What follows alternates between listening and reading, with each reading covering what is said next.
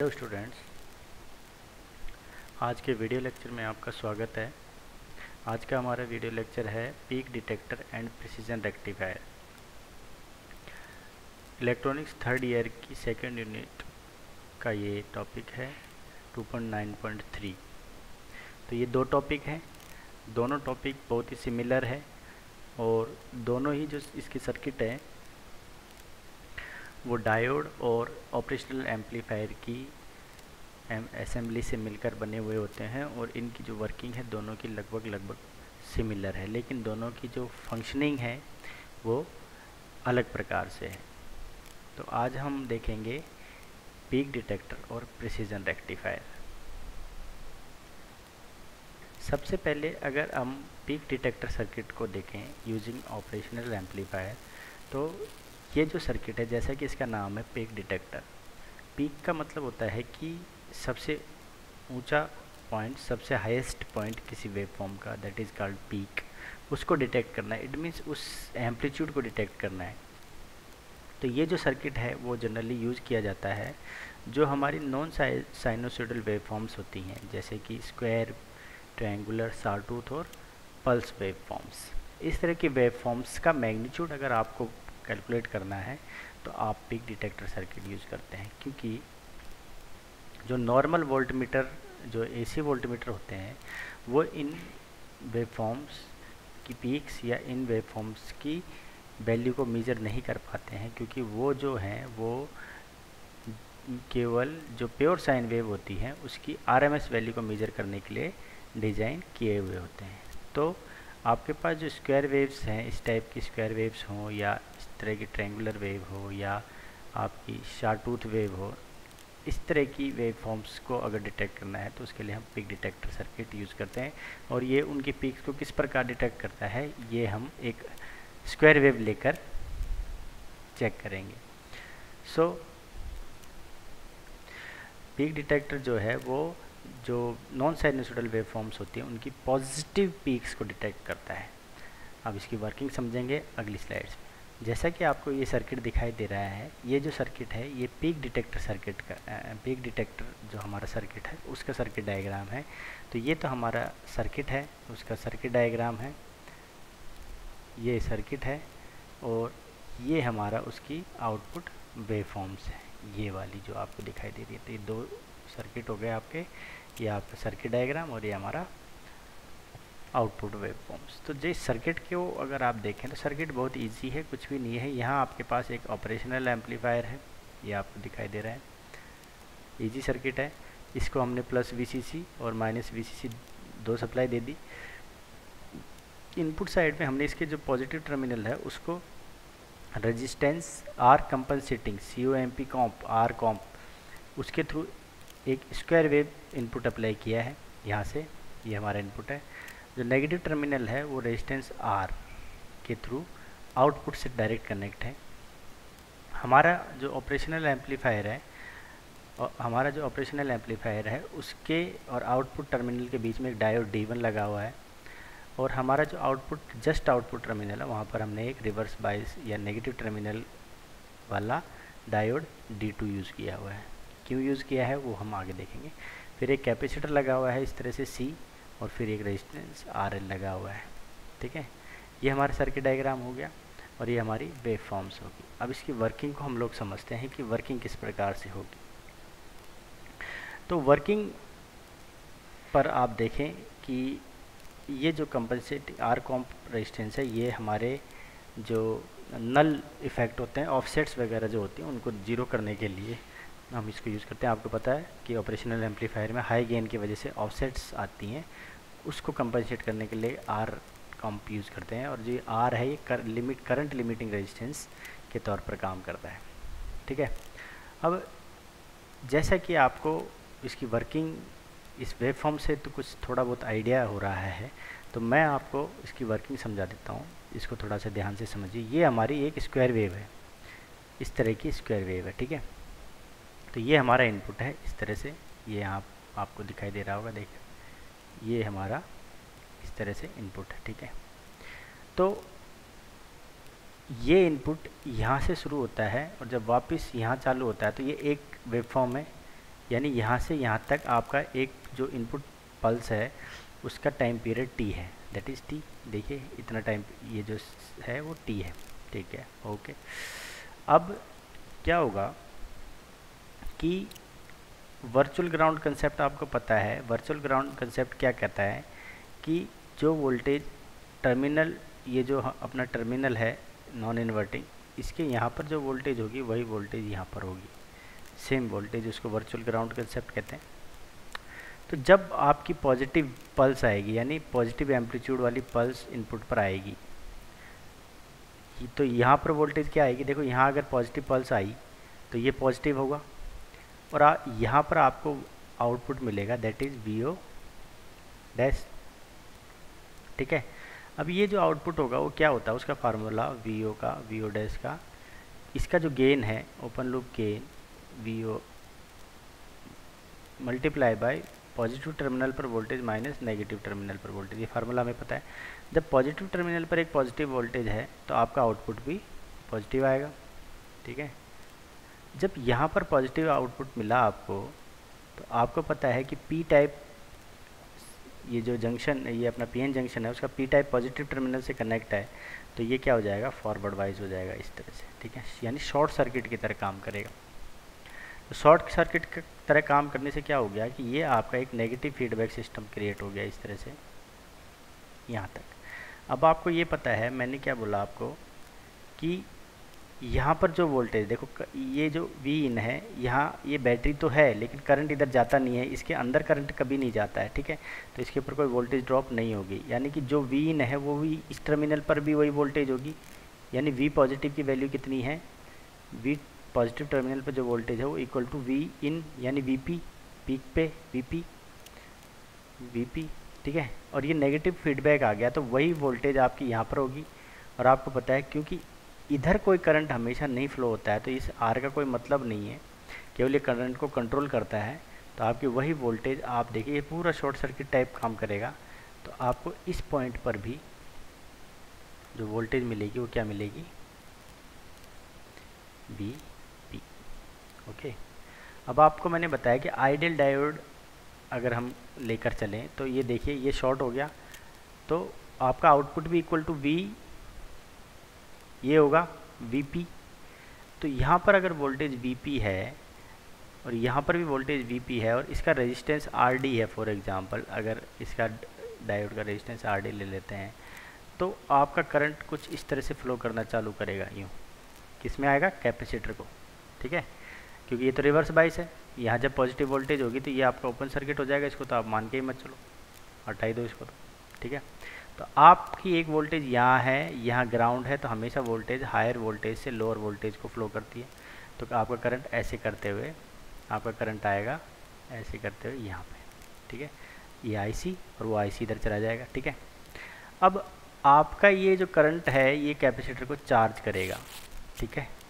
Capacitor initially मान लो, जो भी है ज़ीरो मान लो, या इसके अक्रॉस इनिशियली मान लो वीपी है, मैंने मान लिया, क्योंकि यहाँ भी मैंने मान लिया कैपेसिटर के क्रॉस वोल्टेज वी है। ये जो वोल्टेज है ना आपकी, ठीक है? तो ये क्या करेगा? कैपेसिटर वी की जो भी वोल्टेज है वी से कम है, वो चार्ज होना चालू करेगा। देखो ये चार्ज हो रहा है चार्ज हो रहा है चार्ज हो रहा है। तो थोड़ी देर तक चार्ज होगा। ये आर डी रेजिस्टेंस है, बहुत कम रेजिस्टेंस होता है, यानी चार्ज बहुत फास्ट होगा, बहुत जल्दी ये वीपी तक चार्ज होने की कोशिश करेगा। कोई कैपेसिटर कब तक, कितनी वोल्टेज तक चार्ज होगा डिपेंड करता है कि जो वोल्टेज इस पर लगी हुई है, वो उतने वोल्टेज तक ही चार्ज होगी। तो ये जो है, ये अपने वीपी के बराबर इनपुट आ रहा था आउटपुट आ रहा था अपना तो ये वीपी के वहाँ तक ही चार्ज होने की कोशिश करेगा। तो जब इतने टाइम में ये वी तक चार्ज हो गया, उसके बाद क्या हुआ कि इस पॉइंट पर जब जब या, यहाँ तक पहुँचे, तब आपका जो ये इनपुट है, वो नेगेटिव हो गया आगे। यहाँ पे स्विच हो गया ना पॉजिटिव से नेगेटिव ठीक है? ये पॉजिटिव से नेगेटिव हो गया। अब जैसे ही आपका ये यहाँ पे नेगेटिव इनपुट आया, आपको पता है पॉजिटिव टर्मिनल पर नेगेटिव इनपुट आने से क्या होगा? नेगेटिव यानी आपका आउटपुट क्या था? V positive minus V negative ठीक है? तो पॉजिटिव टर्मिनल पर नेगेटिव वोल्टेज होगी तो आउटपुट भी नेगेटिव आएगा। ठीक है? तो जब आउटपुट यहाँ पर आपके नेगेटिव आउटपुट आएगा नेगेटिव तो आपका ये जो डायोड है, ये ओपन सर्किट हो जाएगा इस तरह से। इस तरह से ओपन सर्किट हो जाएगा। यानी अब आपको यहाँ से कोई क्लोज फीडबैक नहीं मिलेगी। ठीक है? यानी कि ये सर्किट इनकम्प्लीट हो गया तो इधर करंट नहीं जाएगा कुछ भी। ठीक है? अब आपको पता है कि कर, आपका जो सर्किट है ब्रेक यहाँ से यहाँ इतने बीच में हुआ है लेकिन यहाँ पे एक पाथ है आपके पास। यानी कहने का मतलब ये है कि जो वोल्टेज इस, इसके क्रॉस जो, ये जो चार्ज हुआ था थोड़ी देर पहले, ये वीपी तक चार्ज हुआ था, अब ये जो करंट है, ये इसके अंदर इंटेक्ट हो जाएगा। अब इस, ये क्या करेगा? ये कैपेसिटर डिस्चार्ज होने की कोशिश करेगा। तो डिस्चार्ज होने के लिए इसके पास रास्ते देखिए क्या क्या हैं। क्योंकि ये रास्ता तो बंद हो गया, आपका ओपन सर्किट हो गया क्योंकि। अब करंट आपका इधर जा सकता है या इधर जा सकता है। इधर क्यों नहीं जाएगा करंट? इधर इसलिए नहीं जाएगा क्योंकि कभी भी जो ऑपरेशनल एम्पलीफायर है, उसका इनपुट इम्पीडेंस इतना ज़्यादा होता है कि इधर करंट बिल्कुल नहीं जा जा पाएगा। तो इधर हाई रेजिस्टेंस पाथ है तो इधर तो जाएगा नहीं। अब केवल एक रास्ता मिला, इधर, ठीक है? तो आपका करंट इधर जाएगा। अब क्योंकि ये तो आउटपुट टर्मिनल है, इधर जाने के बाद इधर कोई रास्ता नहीं है ये। जस्ट मैंने बताया कि यहाँ पे वोल्टेज वी नॉट आएगी आपकी, ठीक है? तो वो जो करंट है, वो अब कैपेसिटर यहाँ से होते हुए इस आरएल को जाएगा, ठीक है? डिस्चार्ज होगा अब। आरएल के थ्रू डिस्चार्ज होगा। तो हमने क्या किया, ये आरएल की वैल्यू बहुत ज़्यादा रख, रखते हैं हम जानबूझ के, ताकि ये जो कैपेसिटर है वो ज़्यादा जल्दी डिस्चार्ज ना हो, क्योंकि कितनी जल्दी चार्ज कितनी जल्दी डिस्चार्ज होगा वो डिपेंड करता है आर कितना कम या ज़्यादा लेते हैं। अगर आर की वैल्यू हम कम लेते हैं तो बहुत जल्दी डिस्चार्ज हो जाएगा टाइम कम लगेगा उसको फुल डिस्चार्ज होने में, और ज़्यादा लेंगे तो टाइम कांस्टेंट ज़्यादा होने के कारण वो बहुत धीरे गति से डिस्चार्ज होगा। तो जितनी देर तक ये नेगेटिव इनपुट रहा यहाँ से यहाँ तक, उस दौरान आपका कैपेसिटर का करंट ऐसे फ्लो करेगा, लेकिन आर एल ज़्यादा होने के कारण इसके अंदर से जो वोल्टेज है बहुत कम डाउन होती है। तो ये तो जैसे इसमें दिखाया गया है, ये इतनी भी नहीं डाउन होती है, ये बहुत फ्लैट टाइप रहती है, बिल्कुल फ्लैट ही रहती है, बहुत हल्का सा डिस्चार्ज होता है, ठीक है? अब इस पॉइंट पे आते ही वापस आपका इनपुट पॉजिटिव हो गया। अभी जैसे ही हमने शुरुआत में पढ़ा था कि पॉजिटिव इनपुट होते ही आपका क्या होता है, वापस वही प्रोसेस चालू हो जाता है क्या? कि जब यहाँ पॉजिटिव आया तो यहाँ पे पॉजिटिव आउटपुट आएगा आपको और पॉजिटिव आउटपुट आते ये शॉर्ट सर्किट हो जाएगा और शॉर्ट सर्किट आते जो इनपुट यहाँ है वही रिफ्लेक्ट होता है आउटपुट पे। यानी कैपेसिटर आपका वीपी की वीपी की तरफ़ अप टू वीपी चार्ज होने की कोशिश करेगा तो यहाँ पे आपका कैपेसिटर फिर से सॉरी यहाँ तक, यहाँ के बाद फिर से चार्ज होना चालू करेगा। और फिर जब वापस नेगेटिव पल्स आएगी वेव फॉर्म आएगी इनपुट की तो आपका फिर से वो हल्का सा डिस्चार्ज होगा और फिर ये फिर चार्ज हो जाएगा, फिर डिस्चार्ज होगा। ये charging discharging charging discharging capacitor की चलती रहेगी और आपको आउटपुट पे कुछ इस टाइप का आउटपुट मिलेगा। अब देखिए, आपको आउटपुट पे मिल क्या रहा है? किसके बराबर? लगभग लगभग बीपी ये ये जो गैप है, ये बहुत कम है। ये वाला गैप है, ये बहुत कम होता है, ठीक है? ठीक है? तो ये आपको मिल गया आउटपुट पे। तो आपको वीपी मिला कि नहीं? अब ये चीज़ तो आराम से आप मेजर कर सकते हैं। आपको पता लग गया कि ये जो ये जो इनपुट था, वो उसकी वैल्यू कितनी है? कब तक, कहाँ तक चार्ज हो रहा है? वीपी तक ही चार्ज हो रहा है और हल्का सा डिस्चार्ज हो रहा है वीपी से। वीपी तक ही मेंटेन रहा है। बिल्कुल डीसी के जैसा होगा ये। तो ये फ़िल्टर लगाने के बाद अब हमको बिल्कुल ऐसा मिलता है। ये बिल्कुल फ़िल्टर लगाने के बाद, इसको स्मूथनिंग फ़िल्टर लगाते हैं। स्मूथनिंग फ़िल्टर लगाने के बाद आपको वीपी के बराबर आउटपुट ऐसा मिल जाता है।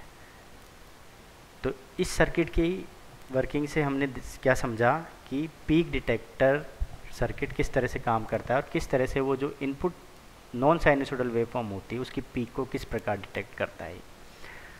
तो आई होप आपको इसकी वर्किंग समझ में आ गई होगी। बहुत इजी वर्किंग है, ज़्यादा कॉम्प्लिकेटेड नहीं है। तो ये हो गया आपका पीक डिटेक्टर सर्किट। ये सारी वर्किंग मैंने आगे यहाँ इस फॉर्म में रिटर्न फॉर्म में समझाई हुई है। तो यह मैंने आपको बताया है कि सीआरडी जो है वो टोटल टाइम पीरियड के 10 गुना से भी कम होता है, यानी कि चार्जिंग टाइम जो है बहुत फास्ट रखा गया है ताकि तुरंत बीपी को ये अटेन कर ले। और डिस्चार्जिंग को बहुत, जो आर एल है उसको बहुत ज़्यादा रखा गया है ताकि वो बहुत धीरे डिस्चार्ज हो। और आउटपुट पर आपको सिंपल ऐसी वेव फॉर्म मिले ऐसी हल्की हल्की ये लगभग लगभग डी सी स्मूथिंग फ़िल्टर के बाद तो बिल्कुल भी सीधा हो जाता है ये। ठीक है?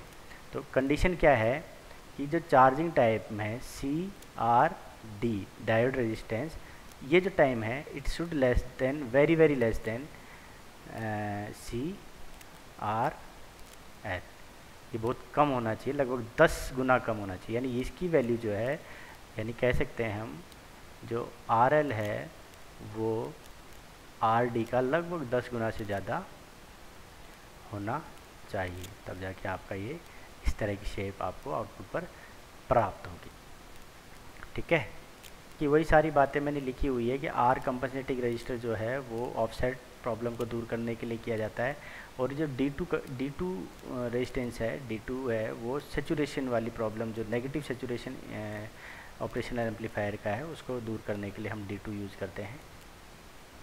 तो ये इसकी वर्किंग है कि during positive half cycle output of op-amp D one को ऑन कर देता है और फॉरवर्ड बाइस करने के कारण चार्जिंग कैपेसिटर सी है पॉजिटिव पीक वीपी तक चार्ज होता है और नेगेटिव साइकिल के दौरान क्या होता है कि डी वन रिवर्स बाइस हो जाता है ओपन सर्किट हो जाता है और जो वोल्टेज सी के क्रॉस है वो रिटेन कर ली जाती है।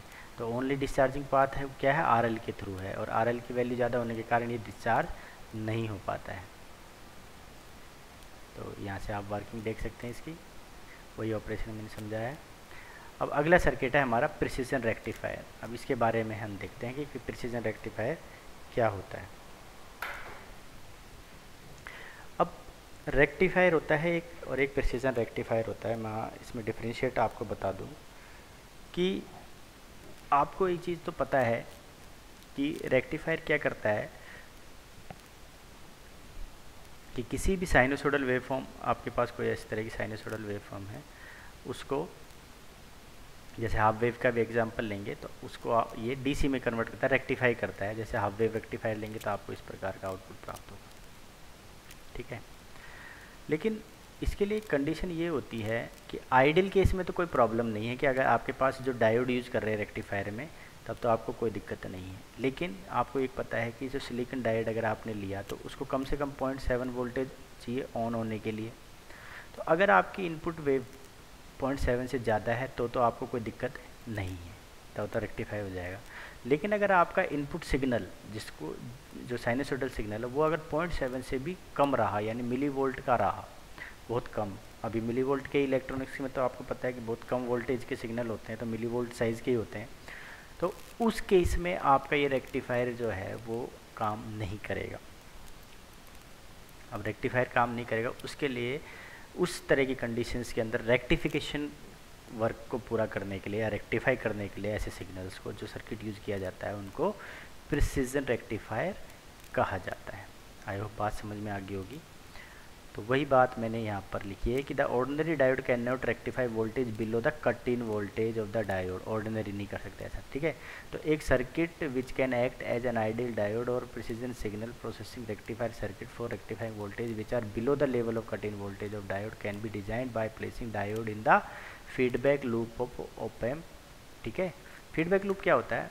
फीडबैक का मतलब यही होता है कि आउटपुट को घुमा के वापस नेगेटिव टर्मिनल पे कनेक्ट करना, इसी को फीडबैक कहते हैं। और इसी के बीच में अगर हमने कोई डायोड कनेक्ट कर दिया तो वो काम करता है हमारा ओप एम ठीक है? ये आगे आगे हम सर्किट देखते हैं। ये जो बात मैंने बोली है आपको, वो आपको अभी समझ में आ जाएगी। इस फॉर एग्ज़ाम्पल ये आपके पास एक हाफ़ वेव रेक्टिफायर सर्किट है। ये साइनोसोडल इनपुट है। एक डायोड लगाया, उसको हमने जब साइनोसोडल इनपुट दिया तो आपको आउटपुट मिलता है ऐसा, जैसा आपको इस डायग्राम में, दूसरे डायग्राम में दिखाई दे रहा है। देखिए, ये एक साइनोसोडल वेव फॉर्म दी मैंने। ये हाफ़ वेव रेक्टिफायर एक डायोड यूज़ कर रहे हैं सिंपल सा। तो आपको आउटपुट पर इस प्रकार का आउटपुट मिलता है, ठीक है? नेगेटिव साइकिल के दौरान आउटपुट नहीं मिलेगा, केवल पॉजिटिव हाफ़ साइकिल के दौरान आउटपुट मिलेगा। ये सिंपल एक तरीका है।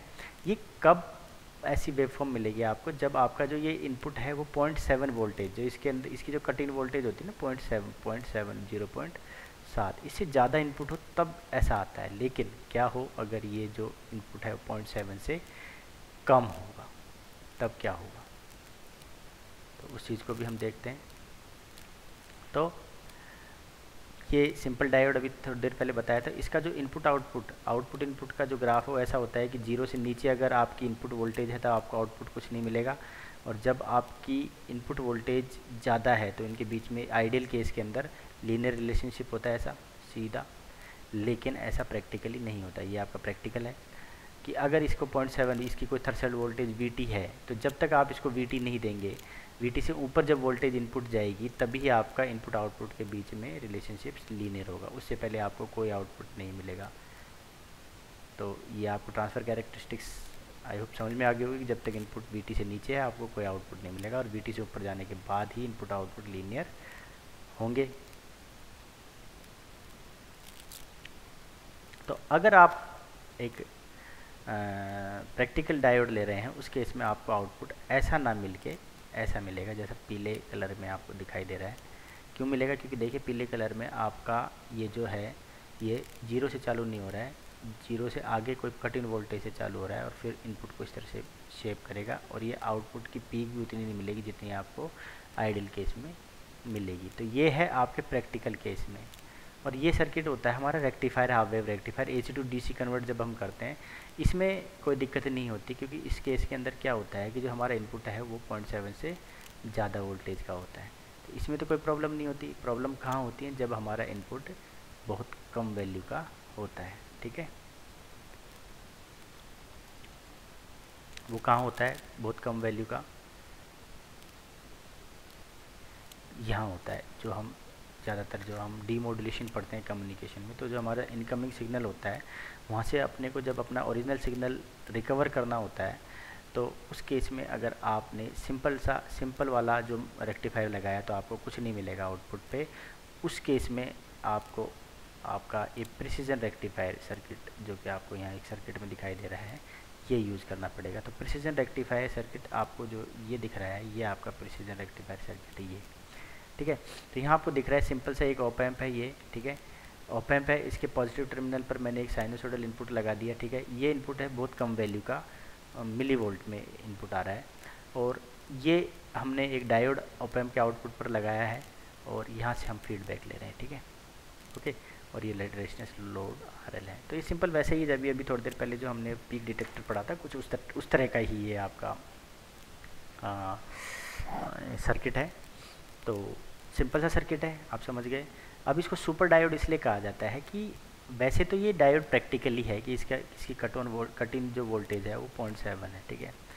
पॉइंट सेवन है तो भाई आउटपुट पे थोड़ी देर पहले मैंने आपको बताया था कि जो इसके कैरेक्टरिस्टिक है वो कुछ पॉइंट, ये कट इन वोल्टेज के बाद ही लीनियर होना चाहिए आउटपुट ट्रांसफ़र कैरेक्टरिस्टिक से लेकिन एक्चुअली जब इसको इस जगह लगाया जाता है, उसके कारण ये एक आइडियल डायोड की तरह बिहेव करता है। एक आइडियल, यानी आपको ज़ीरो पे भी आउटपुट मिलेगा। इसलिए इसको बोलते हैं सुपर डायोड सर्किट। तो कोई आपसे पूछे कि भाई प्रिसीजन रेक्टिफायर सर्किट को सुपर डायोड इस क्यों कहा जाता है? इसलिए कहा जाता है कि इसके अंदर जो डायोड D1 है, वो D1 है, वो एक आइडियल डायोड की तरह काम करता है। इसलिए इसको सुपर डायोड कहता है। भाई कैसे करता है, वो मैं आपको थोड़ी देर बाद समझा दूँगा पूरे एक्सप्लेनेशन के साथ। चलिए, इसकी वर्किंग हम अब समझते हैं। जैसे प्रिसीजन रेक्टिफायर रेक्टिफायर का सर्किट है, यहाँ डायोड था ना तो जब मेरा इनपुट ज़ीरो से बड़ा है ग्रेटर देन ज़ीरो यानी पॉजिटिव इनपुट है तो आपको पता है कि पॉजिटिव इनपुट है तो इस टर्म यहाँ पर आपको पॉजिटिव वोल्टेज है। तो वर्चुअल ग्राउंड कंसेप्ट क्या कहता है कि जितनी वोल्टेज इस टर्मिनल पर है, उतनी वोल्टेज इस टर्मिनल पर होगी। तो यहाँ पे ग्रेटर देन ज़ीरो यानी पॉजिटिव है तो यहाँ पर भी एक पॉजिटिव वोल्टेज मुझे मिलेगी, ठीक है? ओके और यहाँ पर मुझे आउटपुट क्या मिलेगा? यहाँ पर मुझे आउटपुट पॉजिटिव मिलेगा, क्योंकि जो मेरा आउटपुट फॉर एग्जांपल ये वी डैश है, ठीक है? वी आउटपुट डैश ले लेते हैं। तो वी आउटपुट डैश का जो फार्मूला है, वो फार्मूला हमारा कुछ इस प्रकार होता है कि पॉजिटिव टर्मिनल पर वोल्टेज माइनस नेगेटिव वोल्टेज के ऊपर टर्मिनल इनटू में जो ओपन लूप गेन होता है ए ओ एन अब ये ओपन लूप गेन है, वो लगभग लगभग टेन टू दावर फाइव वो ज़्यादा होता है ओके तो पॉजिटिव टर्मिनल पर तो मैंने बताया आपको ग्रेटर देन ज़ीरो यानी एक पॉजिटिव वोल्टेज है तो जब एक पॉजिटिव वोल्टेज में से एक लोअर वोल्टेज माइनस करते हैं तो आंसर आपका पॉजिटिव ही आता है ओके तो यहाँ पर आपको एक पॉजिटिव वोल्टेज मिलेगी। तो पॉजिटिव वोल्टेज जब यहाँ है, उसके कारण ये शॉर्ट सर्किट हो गया मेरा डायोड ठीक है? जब ये शॉर्ट सर्किट हो गया तो ये आपका एक फीडबैक क्रिएट हो गया। और आपको मैंने बताया कि जो वोल्टेज यहाँ है, वही वोल्टेज इस टर्मिनल पर होगी और वही वोल्टेज आपके देखो ये टर्मिनल यहाँ कनेक्ट हो रखा है। तो इस पॉइंट कितनी वोल्टेज आएगी? वी इन ही आएगी जितनी वोल्टेज वी नहीं आए। यानी जैसे जैसे इनपुट को चेंज करोगे वैसा वैसा आपका आउटपुट पे भी आउटपुट भी वी इन ही मिलेगा। कब? जब ग्रेटर देन ज़ीरो है। तो output is equal to V in greater than zero case में, लेकिन लेस देन ज़ीरो के केस में क्या होगा? वो इस वाले डायग्राम में देखिए कि जब आप ये लेस देन ज़ीरो यानी एक नेगेटिव यहाँ पर अप्लाई करेंगे पॉजिटिव टर्मिनल पर इनपुट उस केस में देखो यहाँ पर नेगेटिव इस इस टर्मिनल पर इस, यहाँ इस जगह पे नेगेटिव वोल्टेज होगी और नेगेटिव होने के कारण यहाँ पर भी एक नेगेटिव वोल्टेज होगी और नेगेटिव होने के कारण ये ओपन सर्किट हो जाएगा और ओपन सर्किट होने के कारण आपको कोई भी फीडबैक पाथ यहाँ नहीं मिलेगा और जब फीडबैक पाथ नहीं मिलेगा, कोई भी फीडबैक नहीं होगी, पूरा ओपन लूप होने के कारण तो आउटपुट आपका क्या हो जाएगा? ज़ीरो आपको कोई आउटपुट नहीं मिलेगी। और उस दौरान जो नेगेटिव साइकिल है, उस दौरान आपको आउटपुट नहीं मिलेगी। ठीक है? तो ये आपकी वर्किंग है प्रिसीजन रेक्टिफायर और इस तरह का आपका आउटपुट मिलेगा। देखिए पॉजिटिव जब आपका इनपुट पॉजिटिव था तो आपका आउटपुट भी ऐसा ही मिला, लेकिन नेगेटिव के दौरान आपको ज़ीरो मिला। लेकिन जैसे फिर से पॉजिटिव इनपुट मिला तो आपका आउटपुट भी उस शेप का ही आया। लेकिन नेगेटिव के दौरान आपको कोई आउटपुट नहीं मिला। अब इसकी थोड़ी सी मैथमेटिकल कैलकुलेशन मैं आपको समझा देता हूँ कि किस तरह से ये आउटपुट इनपुट के बराबर हो। इस चीज़ को हम थोड़ा सा समझ लेते हैं। तो देखिए, पिछले सर्किट में हम चलते हैं। ये हमारा है सर्किट देखिए, मान लो यहाँ पर जो वोल्टेज है, वो वी ओ डैश है। ये मेरा पॉइंट सेवन वोल्टेज का एक कटिन वोल्टेज का एक डायोड है पॉइंट सेवन मान लो ये ये मेरा वी ओ है वी आउटपुट है ना वी आउट ठीक है? इसको मैंने वी ले लेता हूँ, ठीक है? थोड़ा ईजी हो जाएगा। ओके तो मैंने आपको क्या बताया कि अगर मैं यहाँ वी ओ डैश है, फिर ये पॉइंट सेवन है तो वी ओ डैश अगर मैं इसके अंदर वो क्या लगाऊँ? के वी एल लगाऊँ। तो मेरा ये जो वी ओ आउटपुट है, ये V output is equal to क्या हो जाएगा? वी ओ डैश माइनस में पॉइंट सेवन ठीक है? यही होता है। तो मेरा मेरा जो वी ओ डैश क्या हो जाएगा? वी ओ डैश क्या हो जाएगा?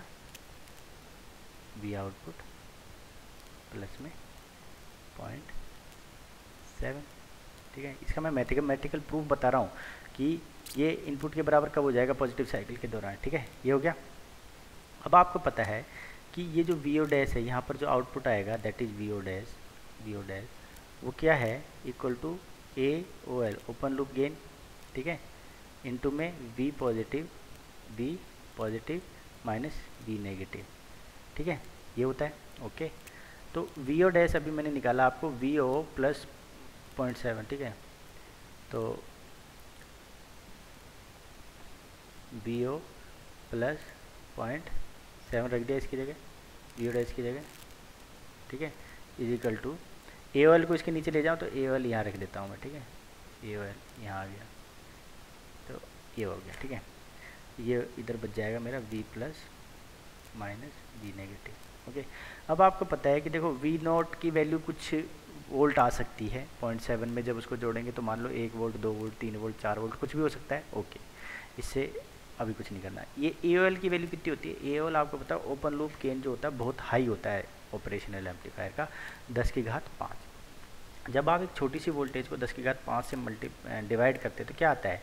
आउटपुट क्या था? Zero point zero zero zero zero zero something. तो it is approximately to zero तो इसको मैं ज़ीरो कर दूँ लगभग लगभग? बराबर? ठीक है? तो V positive terminal minus V negative terminal zero के बराबर है। इसका मतलब इसको इधर ले जाओ। इसका मतलब क्या कह सकते हैं? इट इम्प्लाइज क्या कह सकते हैं? कि V positive is equal to V negative ठीक है? इसके बराबर हो जाएगा कि दोनों टर्मिनल के ऊपर, अब वी नेगेटिव तो ये है, देखो, ये रहा। ये है वी नेगेटिव ओके और ये है वी पॉजिटिव तो पॉजिटिव जब जब हमारा वी इन जब हमारा वी इन जो भी है, हमें नहीं पता पॉजिटिव नेगेटिव ठीक है? तो वी नेगेटिव वाला टर्मिनल देखो, यहाँ आकर जुड़ता है इस पर तो V output is equal to V negative और V negative is equal to V positive और वी पॉजिटिव क्या है? वी इन के बराबर। तो हम क्या कह सकते हैं? It implies V output is equal to V यानी आउटपुट इनपुट को फॉलो करेगा। जैसे जैसे इनपुट चेंज होगा, वैसे वैसे आपका आउटपुट मिलेगा। सीधा सा ये है। तो मैंने इस मैथमेटिकल प्रूफ से बता दिया कि आपका आउटपुट इनपुट के बराबर किस प्रकार से होगा। तो ये हमारा हुआ प्रिसीजन रेक्टिफायर कि किस प्रकार से आपका एक रेक्टिफायर सर्किट है। प्रैक्टिकल डायोड होते हुए भी, वो एक आइडियल डायोड की तरह बिहेव करता है और जो स्मॉल वोल्टेजेस होती हैं, उनको आप किस प्रकार से इस सर्किट से उनको डिटेक्ट या मेजर कर सकते हैं। तो ये हमारा सर्किट है सिंपल सा। देखिए, वही डायो वही सर्किट है जो अभी थोड़ी देर पहले पढ़ा था, ठीक है? प्रिसीजन रेक्टिफाइड डायोड का। और ये हमारा इनपुट है और आपका आउटपुट इस प्रकार से मिलेगा कि जब डी ऑन होगा पॉजिटिव साइकिल के दौरान और ऑफ़ होगा तो आपको कोई आउटपुट नहीं मिलेगा, ठीक है? 100 मिली वोल्ट के इनपुट अगर है तो 100 मिली वोल्ट मिलेगा आपको और इस प्रकार से आपको एक रेक्टिफाइड आउटपुट मिल जाएगा यूजिंग दिस सर्किट तो ये सारी थ्योरी मैंने आगे समझा रखी है कि जब आपका इनपुट इनपुट जब लेस देन ज़ीरो होगा और या फिर ग्रेटर देन ज़ीरो होगा, उस केस में आपकी क्या कंडीशन देखो point seven divided ten to power four micro volt range में आएगा अप्रोक्सीमेटली ज़ीरो कह सकते हैं उसको, ठीक है? तो ये सारी बातें मैंने वहीं लिखी हुई है, आप इसको देख सकते हैं। अब इस सर्किट की कुछ एप्लीकेशन अगर हम देखें कि क्या क्या एप्लीकेशन हो सकती हैं, एक रेक्टिफायर सर्किट की प्रिसीजन रेक्टिफायर की, इसको हम half wave, full wave, peak value detector. थोड़ी बहुत पीक डिटेक्टर बताया था ना अभी? उसमें भी यही, ये वाला सर्किट इसलिए दोनों टॉपिक को हम एक साथ पढ़ते हैं। और क्लिपर और क्लैम्पर सर्किट में ये हमारा जो ये सर्किट है प्रिसीजन रेक्टिफायर ये यूज़ किया जाता है। और ये एक डिसएडवांटेज है कि जो सेचुरेशन वाली बात होती है it can be observe that the precision diode as shown in figure first quadrant with B I greater than zero और V output is greater zero The operation in third quadrant can be achieved by connecting the diode in the reverse direction simple सा वही मैंने बताया था कि negative saturation में जाने से बचाने के लिए हम आउटपुट पर एक जो इस तरह का मैंने सर्किट बनाया था आपको ओपेम का, ठीक है? यहाँ पर मैंने डायोड लगाया था एक। तो उस डायोड ये रिवर्स सेचुरेशन से बचाने के लिए इसे रिवर्स में यहाँ पे एक डायोड कनेक्ट करते हैं। तो उससे क्या है कि वो रिवर नेगेटिव सेचुरेशन में नहीं जाता। तो वही बात मैंने यहाँ लिखी हुई है कि नेगेटिव सिचुएशन से बचाने के लिए हम एक आउटपुट पर एक नेगेटिव टर्मिनल के साथ एक डायोड कनेक्ट करते हैं डी टू तो ये डिसएडवांटेज है लेकिन उसका भी सोल्यूशन है ठीक है? सो so, ये हुआ हमारा पीक डिटेक्टर और precision rectifier circuit I hope आपको समझ में आया होगा। सो so, कोई अगर क्वेश्चन और डाउट है तो आप कमेंट बॉक्स में लिख सकते हैं। So thank you for watching this video